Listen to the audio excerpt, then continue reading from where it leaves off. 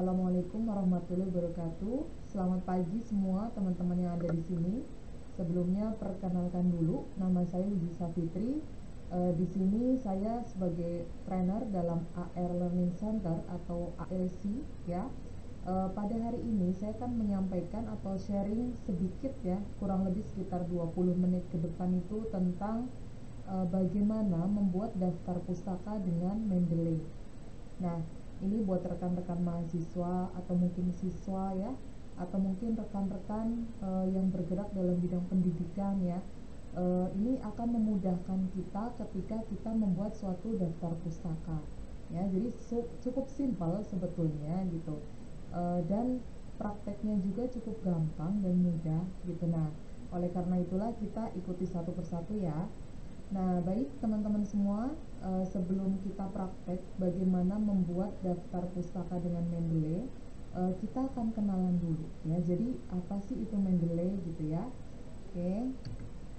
Nah, jadi nanti uh, sebelum kita akan mem, uh, perkenalan dengan Mendeley, uh, jadi tujuan dari sharing pada hari ini adalah memahami apa itu Mendeley jadi teman-teman nanti di sini kita akan kenalan dulu ya. Jadi apa sih itu Mendeley gitu? Dipakai buat apa gitu?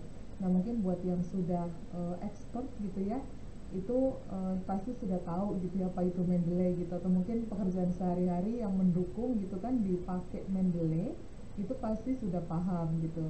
Nah ini hanya sharing ya.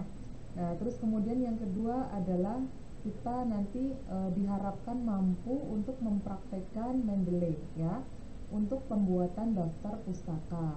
Karena nanti pada hari ini saya akan langsung praktek membuat daftar pustaka dengan Mendeley ya. Nah kemudian ini ada outline.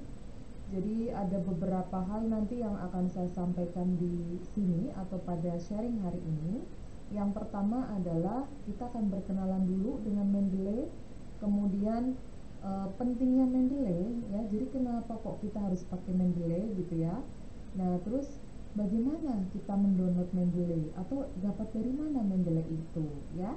Terus kemudian uh, kita akan langsung praktek ya. Jadi kalau misalkan kita cuma teori gitu ya mungkin hanya membayangkan nah nanti kita akan praktek sedikit fungsi dari Mendeley ya dalam waktu 20 menit ke depan. Nah di akhir nanti saya akan e, memberikan beberapa kesimpulan tentang e, apa yang saya sharingkan pada e, pagi hari ini ya. Oke rekan-rekan kita kenalan dulu nih e, dengan Mendeley ya. Kata pepatah kan tak kenal maka tak cinta ya. Salah ya, tak kenal maka tak sayang ya. Nah oke teman-teman semua ini saya kutip dari beberapa uh, sumber ya. Jadi kalau kata Wikipedia ya, Uh, jadi Mendeley itu program komputer dan web yang dikembangkan oleh Elsevier untuk mengelola dan berbagi makalah penelitian ya. Mencari data penelitian dan bekerja sama secara daring ya. Dari sumber yang lain uh, saya mendapatkan uh, sebuah definisi ya bahwa Mendeley itu merupakan salah satu perangkat lunak ya manajemen referensi berbasis open source yang dapat diperoleh secara gratis ya dan mendukung berbagai platform seperti uh, Microsoft Windows, kemudian Apple Mac OS ya, kemudian ataupun Linux ya. Uh, ini versi terbaru Mendeley itu bahkan sudah mendukung sistem seperti Android ya. Jadi bisa digunakan uh, di dalam atau kalau kita pakai HP itu sudah bisa pakai Mendeley ya. Nah, itu beberapa uh, pengertian atau definisi uh, definisi tentang Mendeley ya, rekan-rekan semua ya. Oke, baik kita lanjut teman-teman semua. Nah, ini kurang lebih uh, saya juga dapatkan dari beberapa uh, reference ya. Itu tampilan uh, Mendeley itu depannya seperti ini ya, teman-teman semua ya. Nah ini kalau misalkan kita baru install pertama kali itu belum muncul yang di kotak uh, di kotak ini yang saya uh, kasih kursor ya, jadi masih kosong. Nah kemudian ini juga masih kosong di sebelah kanan ini, jadi belum ada keterangan ya karena kita belum menambahkan. Nah nanti kita akan praktek ya. Nah ini uh, bagian depannya tuh kurang lebih seperti ini. Nah nanti kita akan praktek bagaimana kok bisa gitu di dalam sini tuh muncul gitu beberapa paper atau artikel terus kemudian beberapa sumber nah itu uh, gimana caranya nah nanti kita akan praktek bersama ya teman-teman ya nah terus kemudian uh, ada hal gitu kan kenapa kita itu harus pakai Mendeley gitu? Atau mungkin disarankan untuk menggunakan Mendeley? Jadi yang pertama itu adalah ekstrak, ekstraksi detail ya mengenai dokumen ya. Jadi contoh kayak judul penulis nama jurnal dan lain-lain ya. Teman-teman bisa lihat pada slide berikutnya. Nah jadi seperti ini teman-teman. Kalau misalkan uh, kita akan membuat daftar pustaka gitu ya. Kalau kita secara manual itu kan harus baca dulu ya. Setelah kita baca dulu kita ketik ya secara manual. Uh, pengarangnya siapa autornya terus kemudian judulnya apa tahunnya tahun berapa terus kemudian apa page-nya page berapa sumbernya dari mana itu kita harus manual ya. Belum lagi untuk uh, apa pada pada saat kita misalkan melakukan parafrase atau mungkin menstate di dalam e, konten gitu yang akan kita tulis kita juga ketik manual. Nah ketika kita pakai Mendeley itu kalau misalkan kita sudah punya filenya kita tinggal add ya. Nah ketika kita add gitu file tersebut itu sudah masuk ke dalam e, nanti dia akan langsung mengkonversi ya, atau mengkonvert namanya itu siapa judulnya siapa uh, tahunnya berapa terus kemudian sumbernya dari mana. Nah itu kurang lebih kayak gitu. Nah itu uh, fungsi ya. Jadi kenapa kok kita pakai Mendeley ya? Nah terus kemudian yang kedua adalah uh, pengelolaan referensi yang efisien ya. Jadi dia itu live full text ya terhadap seluruh paper dalam database. Nah contohnya ini ya. Nah jadi ketika kita itu sudah uh, menaruh ya atau e, memasukkan gitu referensi dari artikel atau paper ke dalam Mendeley itu ketika kita klik misalkan salah satunya nih klik gitu ya. Nah itu nanti di sebelah kanan itu sudah muncul e, ekstrak dari isi e, paper tersebut atau artikel tersebut ya. Jadi tanpa membuka kita sudah tahu ya di dalamnya kita bisa geser ke bawah kursornya terus kemudian kita baca baca abstraknya terus kemudian uh, kita bisa uh, baca kontennya gitu. Nah itu memudahkan kita ya. Nah terus kemudian uh, sinkronisasi pustaka referensi ya. Jadi kita bisa berbagi uh, sebagian atau semua dokumen pada database dengan pengguna lain ya. Nah itu karena ada fungsi sinkronisasi pustaka referensi ya. Nah terus kemudian yang keempat itu penulisan citasi maupun daftar pustaka itu secara otomatis teman-teman ya. Jadi nanti kita akan langsung praktek ya. E, jadi ketika kita e, sudah memasukkan tuh datanya ke dalam Mendeley. Nah ketika kita menstate gitu di dalam Microsoft Word kan nanti akan langsung terkoneksi dengan Mendeley. Nah kita e, nulis nih misalkan Wiji 2020 gitu di dalam Word ya yang akan kita kutip ya. Nah ketika kita sudah memasukkan otomatis ketika kita membuat daftar pustaka itu sudah muncul secara otomatis e, nama kita itu di dalam daftar pustaka.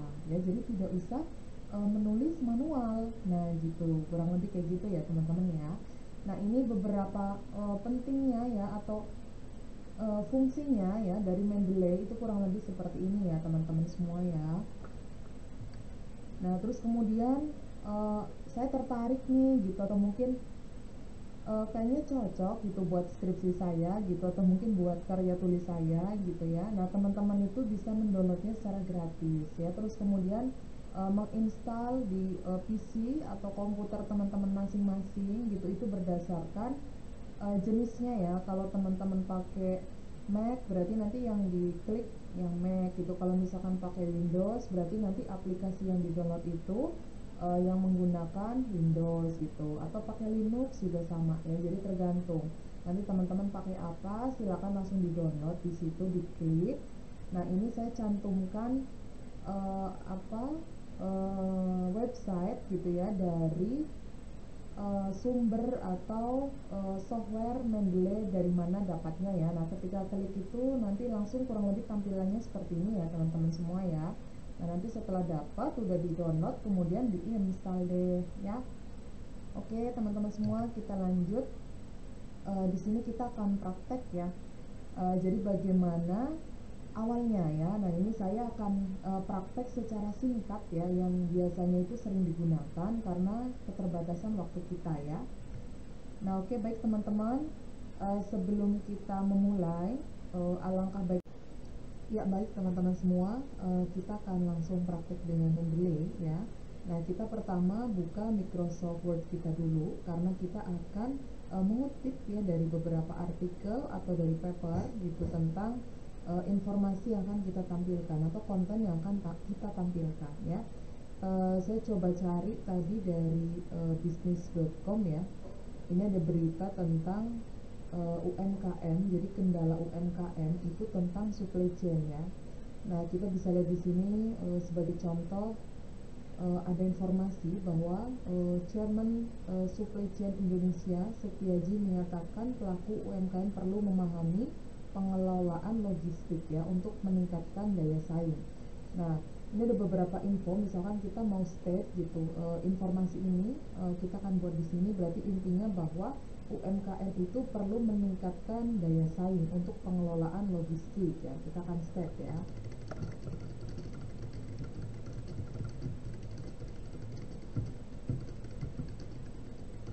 Oke. Nah, informasinya dari mana? Nah, kita langsung saja uh, buka Mendeley ya Nah, kita buka uh, add, ini kan ada tombol di sebelah kiri bagian atas ya yang segitiga kita klik, kemudian kita add files kalau memang kita sudah download filesnya, tapi ini dari berita kita coba add entry manually. Nah, ini tipenya apa? Karena itu dari berita kita uh, langsung scroll ke bawah yang cocok ya, berarti newspaper uh, artikel ya, jadi artikel berita ya. Nah, ini judulnya apa? Kita tinggal kopikan dari sini ya kopikan ke Mendeley. Autor nah ini pengarangnya siapa? Penulisnya Rinaldi Muhammad Aska nah kita menulisnya dari belakang nama belakang terus kemudian nama depan. Berarti Aska Rinaldi Muhammad ya. Aska Rinaldi Muhammad oke. Double M. Siapa yang mempublikasikan dari bisnis uh, ekonomi bisnis ya. Nah kita langsung masukkan ke dalam uh, Mendeley ya. Ini publikasinya adalah oke okay, dari ekonomibisnis.com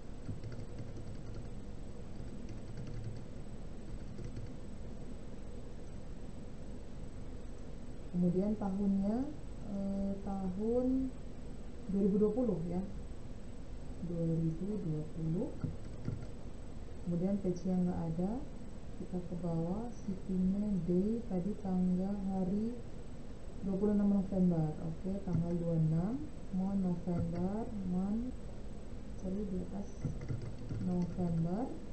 Oke okay, URL kita langsung kopikan uh, eh, URL yang ada di sini ke dalam menu. Oke. Okay. oke okay, sepertinya sudah ya kita save ya Aska Rinaldi Muhammad. Nah ini langsung uh, berisi, berisi konten gitu dan URL kalau kita klik langsung menuju ke URL yang kita tuju ya. Oke kita langsung kutip di sini uh, Aska. Berarti kita uh, klik insert citation nih teman-teman yang di sini ya tuh. Uh, ini ada home toolnya terus kemudian reference di bagian reference insert citation. Aska nah sudah langsung muncul tinggal klik kemudian oke okay deh. Nah langsung muncul ya. Gampang kan? Tuh langsung muncul. Kita coba enter ya. Nah itu kalau misalkan kita misalkan mengutip dari berita ya atau dari informasi dari internet gitu yang memang bisa dipercaya. Nah terus kemudian eh, misalkan kita mau mengutip dari paper atau artikel atau penelitian e, sebelumnya. Nah ini tadi saya sudah memasukkan penelitian dari uh, siapa ini Wahyuni ya tentang analisis risiko halal supply chain dengan adopsi model SCORE ya uh, untuk supply chain operation reference ya. Nah ini akan saya masukkan atau saya kutip ya. Uh, sebelumnya ketika saya mau memasukkan uh, file ini itu teman-teman silakan diklik ini tombol segitiga ke bawah add file ya. Nah itu nanti silakan pilih artikel yang akan teman-teman masukin ya nanti langsung sudah e, merecord e, secara langsung namanya siapa terus kemudian tahun kemudian dia publikasinya dari mana gitu itu sudah langsung muncul ya. Kita coba lagi aja nih. Yang sama ya coba ini lagi aja ya. Nah ini sama ya PTN sama jadi nggak berubah ya. Nah jadi nanti silakan langsung masukin ya seperti itu kurang lebih caranya. Nah ini ada informasi di sini tuh judul terus kemudian autornya siapa ya jurnalnya yang menerbitkan dari mana tahun volume isu. Nah ini sudah ada konten di sini tuh teman-teman ya. Nah misalkan kita mau state ya uh, salah satu informasi misalkan uh, jadi di sini ada hasil penelitian bahwa seluruh aktivitas di rumah potong hewan pemetaan aktivitas uh, dia telah menggunakan adopsi model score. Nah, misalkan kita mau step di sini ya. Ada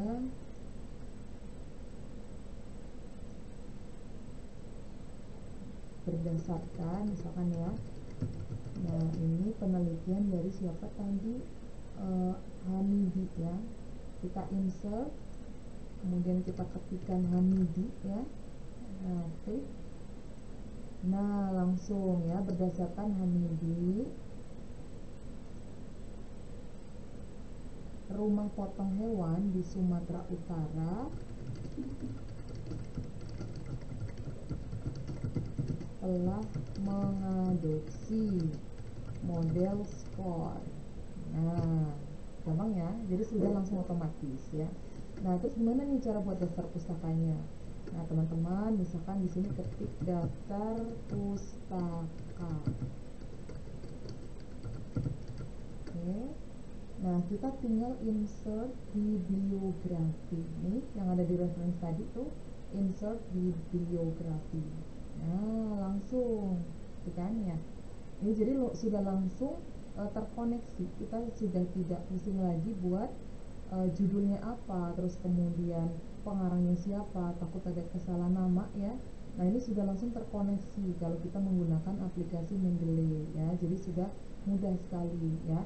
Nah itu kurang lebih teman-teman e, cara memasukkan atau mengkoneksikan antara e, data kita yang akan kita kutip dengan e, Mendeley ya. Dan dengan e, software Mendeley gitu. Dan untuk memunculkan daftar pustaka ini secara otomatis ya gampang kan? Ya. Nah ini saya kasih tips sedikit ya untuk Mendeley jadi uh, pada saat saya tadi uh, menginstal Mendeley itu dia belum terkoneksi ke Microsoft Word ya. Nah ini buat teman-teman gak usah bingung. Jadi yang perlu dilihat adalah di Mendeley-nya pertama ya. Kita lihat menu tools di sini ya.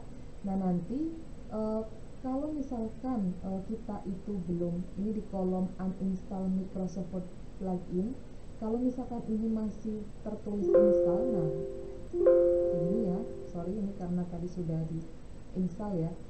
Jadi ini oke okay, ya.